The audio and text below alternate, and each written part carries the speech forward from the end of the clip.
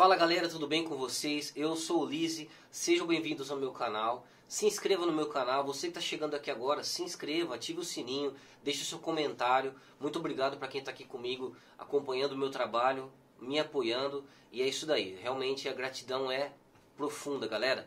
No vídeo de hoje vocês vão poder compartilhar de uma conquista minha, cara. No último dia 28 agora do 11, é, eu pude tocar no programa do Faustão, cara, acompanhando o artista Luan Santana. Foi realmente uma oportunidade, algo incrível que aconteceu comigo, algo repentino. O guitarrista do Luan Santana é o Luan Murilo, é um excelente guitarrista, um músico que dispensa comentários. E ele precisou fazer um outro trabalho de última hora e ele me chamou, cara, para fazer a vez dele.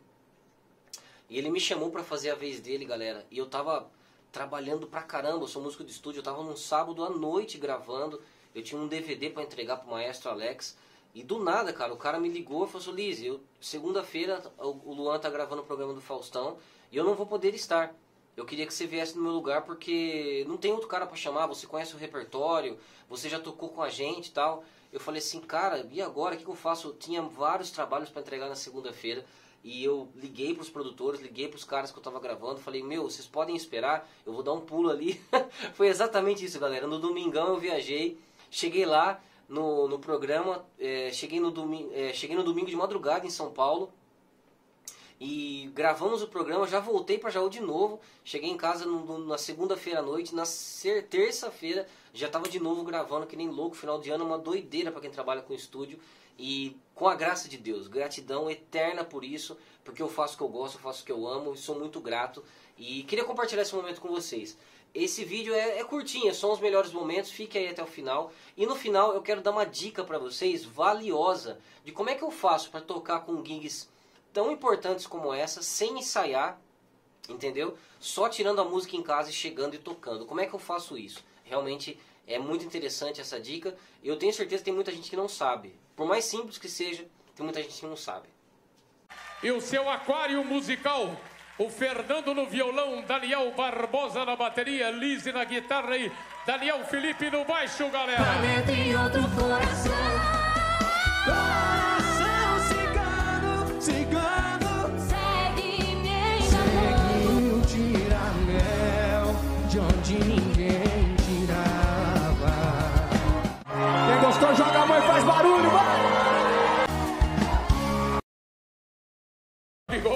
Bateria, Lizzy na guitarra. Tanto meu, se não você joga fora, vai embora e diz que não deu. Você que está em casa nesse momento, jogue a mãozinha no céu assim, junto com nós aqui, ó. Igual nós estamos aqui, passando energia positiva pro universo inteiro. Abre o coração e solta a voz. Galera, e aí, curtiu os melhores momentos? É coisa curtinha ali, mas, cara, foi muito legal, muito especial tocar no programa com o programa do Faustão, cara. Quem, quem que não conhece o Faustão, né? Foi muito legal. A galera da minha cidade falou, pô, Liz, você tocou no Faustão? Eu falei, cara, toquei, nem sei como. foi tudo tão rápido e foi muito legal. Mas, galera, eu acho que a grande, a grande moral da história é o seguinte: nunca é, abaixa a cabeça diante dos desafios. Tipo assim, quando é, comecei minha vida profissional, eu sempre estive diante de grandes situações onde a vontade de falar não era muito grande por pelo medo, sabe, de, de ter que chegar e tocar.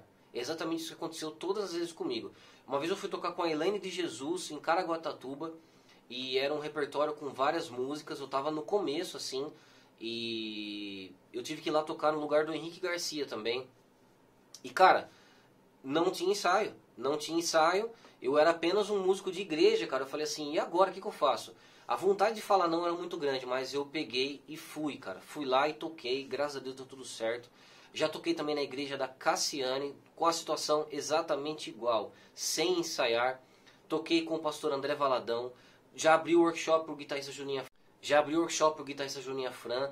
É, em, sempre situações de risco, né? Porque a gente sempre tem um medo muito grande de dar errado, de passar vergonha, de se queimar, a gente fica com aquela, aquela insegurança.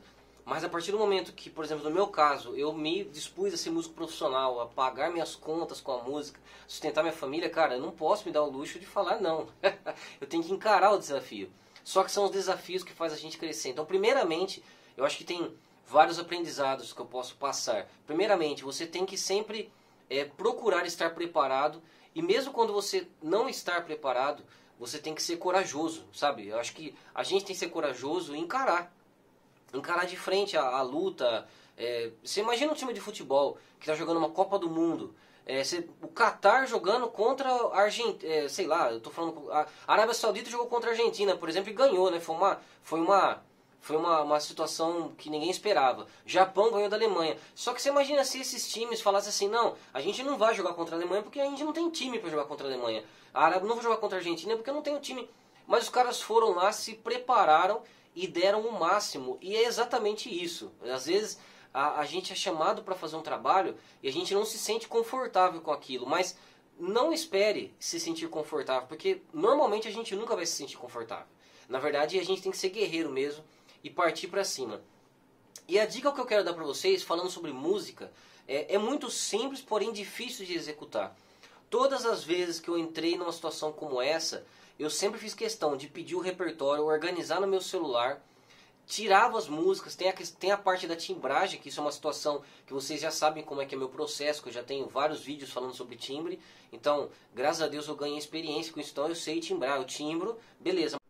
Mas a parte mais difícil, sem dúvida, por mais que você seja um bom músico, por mais que você toque demais, cara, e por mais que a música pareça ser simples, quem toca, quem é músico sabe do que eu estou falando. A parte mais difícil é você chegar para tocar sem ensaio e lembrar a hora que a guitarra entra, a hora que a guitarra não entra, a hora que entra o solo, a hora que dá um break, a hora que faz uma convenção. Vamos ser sinceros. Você pode tocar o Young Malmsteen, cara, mas se te chamam para tocar qualquer coisa, como Luan Santana, por exemplo, ou qualquer outro, que nem eu toquei com o André Valadão, não eram músicas difíceis. Mas o grande, a grande sacada do profissionalismo é o cara que chega e consegue tocar, não atrapalhar a banda, não atravessar a banda, errar uma convenção, ou não brecar na hora que precisa brecar, ou, ou, ou na verdade brecar errado, parar na hora errada, sabe coisas assim? E qual que é o segredo para você é, é, é, realmente limpar esses problemas? Primeira coisa, você tem que separar o repertório e tirar a música. Esse, esse é o meu método. É óbvio, tirar a música. Mas não é só tirar a música, ela tem que eternizar, ela tem que entrar em você a música. E como é que eu faço isso? Eu uso a minha imaginação, cara. Eu tiro a música e eu uso uma técnica que chama. Eu não sei o nome certo disso, que na verdade eu já ouvi alguns caras falando sobre isso, mas eu nunca estudei de verdade isso. Mas eu tenho isso comigo. É o lance de visualização. Eu visualizo, por exemplo, tem um solo de guitarra. Eu visualizo aquilo na guitarra, na, na guitarra. Eu fico pensando como se eu estivesse tocando. Eu tirei ele e eu visualizo ele na minha mente. Tipo assim, eu consigo ver exatamente o que eu tenho que fazer. E aí eu começo a escutar o tempo que eu puder aquilo que eu tenho que tocar. Então eu tirei a música. Eu fico essa música no, no celular e, e, toda vez sobra um tempo eu coloco no meu fone e fico ouvindo a música e imaginando eu tocando a música. Eu estou ouvindo o som e tocando ela. Pra você ter uma ideia, eu fiz cover do Queen, por exemplo, numa época que eu trabalhava numa, numa loja. Eu gravava nas horas vagas e eu ainda tocava as, as músicas do Queen com uma banda. É claro que a gente ensaiava. Só que eu não tinha tempo para tirar. Então, no pouco tempo que eu tinha, eu ia lá e tirava as partes principais, tirava a música, tirava o solo. E depois eu ficava com essa música na minha cabeça, ouvindo a hora que eu podia. Eu tava de carro, eu tava ouvindo e imaginando. Às vezes eu tava no caminho para um ensaio, imaginando o solo, eu fazendo o solo na mão e imaginando, ouvindo, imaginando.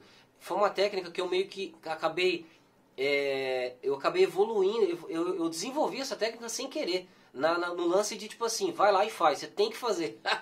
então assim, na, na porrada eu acabei desenvolvendo isso. Então é uma dica muito legal. Tira aquele tema de guitarra que você tem que fazer na igreja no domingo, por exemplo, tira ele e comece a imaginar ele na sua cabeça e comece a ouvir a música e se enxergue você tocando aquilo. Vocês não têm ideia de como isso pode fazer diferença e pode ajudar você a ter uma performance melhor ou talvez perfeita. Foi o que aconteceu comigo. É claro que quanto mais você faz, melhor fica. Então, cada situação é ímpar. Teve situações que eu tive que ter uma, uma dedicação extrema. Teve situações que às vezes não dá para ter tanta dedicação, mas mesmo assim eu uso o mesmo método. Eu tiro, eu imagino e eu ouço. E eu faço muito isso. Quanto mais eu faço, melhor fica a performance, a tocada. Principalmente quando você toca com uma banda sampleada, com clique, isso pode ajudar muito. Galera, não se esqueça disso. Separe o repertório, coloque no seu celular, tire a música, tire as notas, tire a harmonia. Agora comece a imaginar, e ao tempo que você está imaginando, ouça o máximo que você puder. Ouça música. Músico tem que ouvir música. Eu conheço pessoas que não são músico, que ouvem mais do que o próprio músico. Galera, vamos para cima, vamos evoluir, tamo junto, vamos para cima.